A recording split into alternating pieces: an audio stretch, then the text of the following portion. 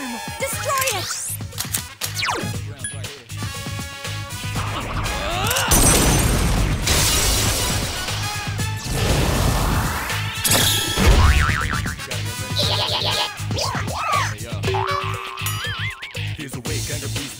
I've been waiting for this.